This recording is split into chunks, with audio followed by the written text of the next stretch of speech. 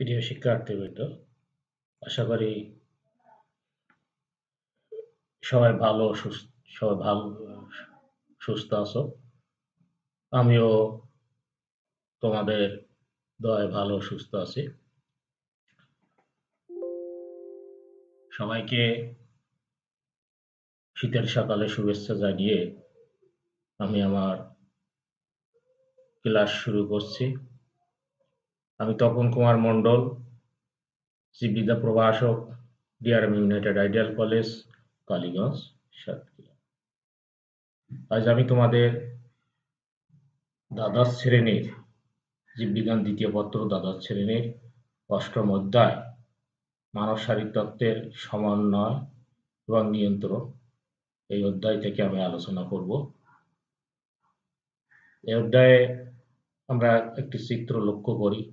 যে আমাদের একটি মানব দেহের ভিতরে বিভিন্ন গ্ল্যান্ড লেখা আছে পিটুইটারি গ্ল্যান্ড মানে গ্রন্থি যেটি বলা হয়েছে থাইরয়েড গ্ল্যান্ড থাইমাস এবার বিভিন্ন গ্ল্যান্ড লেখা আছে ovary testes adrenal gland pancreas pineal gland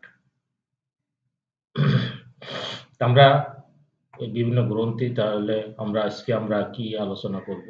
যে আমাদের গ্রন্থি, অর্থাৎ গ্রন্থি সম্পর্কে আলোচনা করব। তাই গ্রন্থিকে দুই ভাগে ভাগ করা হয়েছে, একটা হচ্ছে বই করা গ্রন্থি আর একটা হচ্ছে অন্তঃকরা গ্রন্থি। তা আমরা এই মানুষের অন্তঃকরা গ্রন্থি যেটা আমরা চিত্র লক্ষ্য করলাম, এই অন্তঃকরা গ্রন্থি সম্পর্কে আমরা আলোচনা করব। তো অন্তঃকরা গ্রন্থির এখানে কি কি শিখব আমরা অন্তঃকরা গ্রন্থি থেকে? যে অন্তঃকরা গ্রন্থির সংজ্ঞা বা অন্তঃকরা গ্রন্থি কি আমরা জানব? মানবদের বিভিন্ন অন্তঃকরা গ্রন্থগুলির নাম, এর অবস্থান, কি কি হরমোন এখানে নিঃসৃত হয় এবং এর কাজ। আর দেহে হরমোনের গুরুত্ব বিশ্লেষণ, এ সম্পর্কে আমরা আলোচনা করব। তাহলে আমরা কি কি দেখব এখানে? যে অন্তঃকরা গ্রন্থির শিখব, যে গ্রন্থির সংজ্ঞা, মানবদের বিভিন্ন অন্তঃকরা গ্রন্থগুলির নাম, অবস্থান নিশ্চিত হরমোন ও কাজ, এছাড়া দেহে হরমোনের গুরুত্ব বিশ্লেষণ। তাহলে অন্তঃকরা গ্রন্থি কি? যেসব নালীবিহীন গ্রন্থি থেকে খরিত জৈব রাসায়নিক পদার্থ বা হরমোন, রক্ত বা লসিকার মাধ্যমে বাহিত হয়ে দূরবর্তী সুনির্দিষ্ট অঙ্গে ক্রিয়াশীল হয়, সেসব গ্রন্থিকে আমরা অন্ধকারা গ্রন্থি বলছি। অন্ধকারা গ্রন্থি কাকে বলছি? যেসব নালীবিহীন গ্রন্থি থেকে খরিত জৈব রাসায়নিক পদার্থ বা হরমোন রক্ত রাশি, রক্ত বা লসিকার মাধ্যমে বাহিত হয়ে দূরবর্তী সুনির্দিষ্ট অঙ্গে ক্রিয়াশীল হয় সেসব গ্রন্থিকে বলছি আমরা, অন্তঃকরা গ্রন্থি। আমরা বিভিন্ন গ্রন্থির চিত্র লক্ষ্য করছি। এর আমরা একটা পিটুইটারি গ্রন্থি দেখছি আমাদের মস্তিষ্কে এখানে পিটুইটারি গ্রন্থি। এই পিটুইটারি গ্রন্থিকে আবার কয়েক ভাগে ভাগ করা হয়েছে। যে পিটুইটারি দুই হচ্ছে মধ্য পিটুইটারি তিন হচ্ছে পশ্চাৎ পিটুইটারি এই তিন ভাগে ভাগ করা হয়েছে। তা সম্মুখ পিটুইটারি যেটি আমরা দেখি, যেখানে কি কি হরমোন এখানে নিঃসৃত হয়ে থাকে এক হচ্ছে বৃদ্ধি পোষক হরমোন এটিকে সংক্ষেপে বলছি এসটি এইচ এর কাজ কি? অস্থির বৃদ্ধি ও প্রোটিন সংশ্লেষ করা। তাহলে বৃদ্ধি বৃদ্ধি পোষক হরমোন সংক্ষেপ হচ্ছে এইচটিএইচ এর কাজ হচ্ছে অস্থির বৃদ্ধি প্রোটিন সংশ্লেষ দুই হচ্ছে থাইরয়েড উদ্দীপক হরমোন যেটিকে বলছে TH A TSH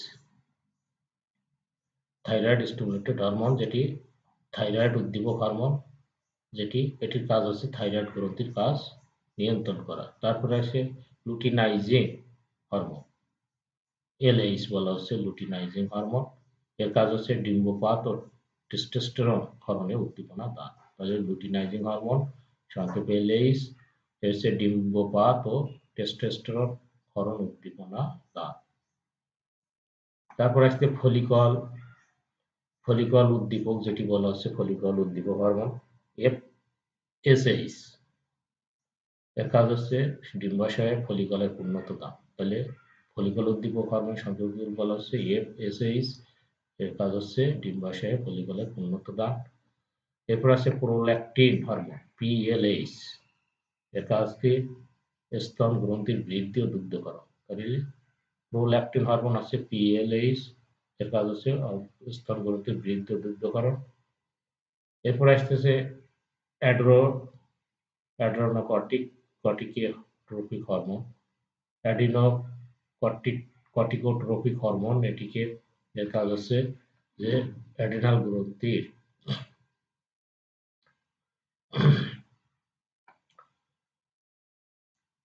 নিয়ন্ত্রণ করা যেটি। এরপরে আসতেছে মধ্য পিটুইটারি তাহলে মধ্য পিটুইটারি কি কি হরমোন এখানে করে?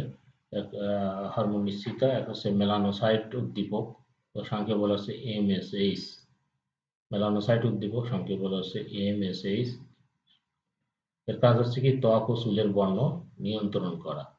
এরপর আসছে কর্টিকোট্রপি হরমোন যেটিকে এটি মধ্যপিটুইটারিতে থাকে। এর কাজ হচ্ছে কি এসিটিএইচ এর অগ্রদূত হিসাবে এটি কাজ করে। এসিটিএইচ এর অগ্রদূত হিসাবে এটি কাজ করে। কি হরমোন কর্টিকোট্রপিক হরমোন এরপর আসছে পশ্চাৎ পিটুইটারি পশ্চাৎ পিটুইটারি কি কি হরমোন নিশ্চিত একটা হচ্ছে অক্সিটোসিন অক্সিটোসিন যেটি কাজ কি? জরায়ু সংকোচনে উদ্দীপনা দান করে এটি। যে অক্সিটোসিন হরমোন কাজ হচ্ছে জরায়ু সংকোচনে উদ্দীপনা দান। এরপর আসতেছে ভ্যাসোপিরেসিন ভ্যাসোপিরেসিন যেটি এডিএইচ বলা হচ্ছে হরমোন এটি পশ্চাৎ থেকে এটি নিশ্চিত হয় কাজ হচ্ছে রক্তচাপ বৃদ্ধি করা। এরপরে আসতেছে থাইরয়েড গ্রন্থি, যেটি আমরা দেখছি চিত্রে গলায়। এটি থাকে আমাদের, যেটি থাইরয়েড গ্রন্থি, যেটি এখানে কি কি হরমোন নিঃসৃত হয়? এক হচ্ছে tri iodothyronine tri iodo iodothyronine যেটি এর কাজ হচ্ছে হৃদস্পন্দন প্রোটিন সংশ্লেষ নিয়ন্ত্রণ করা। তাহলে ট্রাই আয়োডোথাইরিন হরমোন, এটি থাইরয়েড গ্রন্থি নিশ্চিত, এর কাজ হচ্ছে হৃদস্পন্দন ও প্রোটিন সংশ্লেষ নিয়ন্ত্রণ করা। দুই হচ্ছে থাইরক্সিনও এখান থেকে হরমোন নিশ্চিত হয় থাইরয়েড গ্রন্থি থেকে, এর কাজ হচ্ছে বিপাক ক্রিয়া বৃদ্ধি নিয়ন্ত্রণ করা। তিন হচ্ছে ক্যালসিটোসিন ক্যালসিটোনিন ক্যালসিটোনিন থাইরয়েড থেকে নিশ্চিত হয়, এর রক্তে ক্যালসিয়ামের মাত্রা নিয়ন্ত্রণ করা। তাহলে ক্যালসিটোনিন এটিও থাইরয়েড গ্রন্থি থেকে নিশ্চিত হয়, এর রক্তে ক্যালসিয়ামের মাত্রা নিয়ন্ত্রণ করা। তাহলে থাইরয়েড গ্রন্থি থেকে তিনটি হরমোন নিশ্চিত হচ্ছে, এগুলো ইম্পর্টেন্ট ট্রাই আয়োডোথাইরোনিন থাইরক্সিন আর ক্যালসিটোনিন তাহলে ট্রাইআয়োডোথাইরোনিন কাজ হচ্ছে হৃদস্পন্দন প্রোটিন সংশ্লেষ নিয়ন্ত্রণ করা। থাইরক্সিন কাজ হচ্ছে বিপাকীয় বৃদ্ধি নিয়ন্ত্রণ আর ক্যালসিটোনিনের কাজ হচ্ছে ক্যালসিয়াম মাত্রা নিয়ন্ত্রণ করা। চিত্র লক্ষ্য করি অ্যাডেনাল গ্রন্থি যেটি অ্যাডেনাল গ্রন্থি যেটি আমরা লক্ষ্য করি। এখানে কি কি হরমোন নিশ্চিত হয়? এখানে অ্যাডেনাল গ্রন্থি থেকে আছে গ্লুকোকর্টিকয়েড গ্লুকোকর্টিকয়েড হরমোন এখানে নিশ্চিত হয়। এর কাজ হচ্ছে শর্করা, আমিষ বিভাগ নিয়ন্ত্রণ করা। দুই হচ্ছে মিনার, মিনারেলো কটিক কটিকয়েড, মিনারেলো কটিকয়েড। এটির কাজ হচ্ছে খনিজ লবণের বিভাগ নিয়ন্ত্রণ করা। তিন হচ্ছে নালিন, এর কাজ হচ্ছে গ্লাইকোজেন থেকে গ্লুকোজ মুক্ত করা। এছাড়া অ্যাডেনোগন থেকে আর কি কি হরমোন নিশ্চিত? আর হচ্ছে নর, অ্যাডেনালিন, এর কাজ হচ্ছে দেহের উষ্ণতা নিয়ন্ত্রণ করা। তাহলে অ্যাডেনাল থেকে কি কি হরমোন নিশ্চিত হচ্ছে? গ্লুকোটিকয়েড হরমোন যেটি শর্করা ও আমিষ বিভাগে নিয়ন্ত্রণ করে। দুই হচ্ছে মিনার মিনারেলো কটিক যেটির কাজ হচ্ছে খনিজ লবণের বিভাগ নিয়ন্ত্রণ করা। তিন হচ্ছে, অ্যাডেনালিন, এর কাজ হচ্ছে গ্লাইকোজেন থেকে গ্লুকোজ মুক্ত করা। চার হচ্ছে, নর অ্যাডেনালিন, যেটি হচ্ছে দেহের উষ্ণতা নিয়ন্ত্রণ করা। এরপরে আসতেছে আইলেটস অফ ল্যাঙ্গারেন্স যেটি, যেটিকে বলা হচ্ছে আইলেটস অফ ল্যাঙ্গারেন্স যেটিকে বলা হচ্ছে এটা কি কি হরমোন নিশ্চিত হয় ইনসুলিন দুই হচ্ছে গ্লুকাগন এক হচ্ছে ইনসুলিন যেটি বলা হচ্ছে রক্তের শর্করা যকৃতি সরিয়ে নেয়। ইনসুলিনের কাজ হচ্ছে রক্তের শর্করা যকৃতে সরিয়ে নেয়। দুই হচ্ছে গ্লু গ্লুকাগন যেটি রক্তের শর্করা বাড়ায়। তাহলে আইলেটস অফ ল্যাঙ্গারেন্স থেকে কি কি হরমোন নিচ্ছে ইনসুলিন আর হচ্ছে গ্লুকাগন তো ইনসুলিন কাজ কি রক্তের শর্করা যকৃতে সরিয়ে নেয় দুই হচ্ছে গ্লুকাগন হচ্ছে রক্তের শর্করা বাড়ায়। মানবদেহ হরমোনের ইতিবাচক দিকগুলো আমরা যদি দেখি, কি কি ইতিবাচক দিক এখানে আছে? অতিরিক্ত চর্বি ও গ্লুকোজ পুড়িয়ে দেহকে রাখে প্রাণবন্ত। কি করে? অতিরিক্ত চর্বি ও গ্লুকোজ পুড়িয়ে দেহকে রাখে প্রাণবন্ত।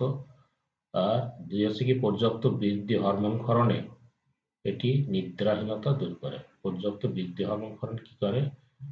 এটি নিদ্রাহীনতা দূর হয় তিন হচ্ছে বৃদ্ধি হরমোন শিশুর স্বাভাবিক বৃদ্ধি ঘটিয়ে বামনত্ব দূর করে। কি হচ্ছে? বৃদ্ধি হরমোন শিশুর স্বাভাবিক বৃদ্ধি ঘটিয়ে বামনত্ব দূর করে। তাহলে আমরা এগুলো শিক্ষার্থীবৃন্দের এগুলো বিভিন্ন হরমোন সম্পর্কে আমরা আলোচনা করলাম। সে বিভিন্ন গ্রন্থি আলোচনা করলাম। গ্রন্থি থেকে বিভিন্ন হরমোন, কি কি হরমোন নিঃসৃত হয় এবং এর কাজ। মূল্যায়ন তোমরা এগুলো দেখবে পূর্ব গ্রন্থি বলা হয় কোনটিকে মানবদের ইনসুলিনের কাজ কোনটি তিন হচ্ছে রক্তের গ্লুকোজ কমে গেলে পাড়ায় কম হরমোন এটি দেখবে মূল্যায়নগুলো তোমরা ভালো করে জেনে আসবে, একক কাজ, একটু ভালো করে দেখে আসবে যে পিটিটারি গ্রন্থিকে কেন পূর্ব গ্রন্থি বলা হয় দুই হচ্ছে থাইরয়েড গ্রন্থির কাজ। তাহলে একক কাজ হচ্ছে কি পিটিটারি গ্রন্থি কেন প্রভু গ্রন্থি বলা হয় আর থাইরয়েড গ্রন্থির কাজ এরপরে আসতেছে, বাড়ির কাজ থাকবে কি? পানব্য অন্তর্গ্রহ গ্রন্থিগুলির অবস্থানগত চার্ট তৈরি করা। অর্থাৎ অন্তকারা গ্রন্থিগুলো কোথায় কি অবস্থান করে, তার একটা চার্ট তৈরি করা। এবং অন্তকারা গ্রন্থি থেকে বিভিন্ন হরমোন নিঃসৃত হয় সেগুলো দেখানো চার্টে এবং তার কাজ, সেগুলো দেখানো। আগামী দিনে পড়া প্রাগদ্বীপ ক্লাস আমি যেটি নেব যে মানব সংগীত অঙ্গের সঙ্গে গঠন সংগীত অঙ্গের মধ্যে চোখ, কান, এগুলো আছে, এর থেকে আমি যে কোনো একটি আলোচনা করব তোমরা এগুলো দেখে আসবা এখানে সহায়ক গ্রন্থ, গ্রন্থি যেটির মধ্যে আছে জীববিজ্ঞান তৃতীয় পত্রে গাজী আসমল দ্বিতীয় পত্র ডক্টর মোহাম্মদ আবুল হাসান। এই বইগুলো সহযোগিতা তোমরা নেবে। প্রিয় শিক্ষার্থীবৃন্দ, আজকে আমরা গ্রন্থি সম্পর্কে আলোচনা করলাম এবং গ্রন্থি অন্তকরা গ্রন্থি কি?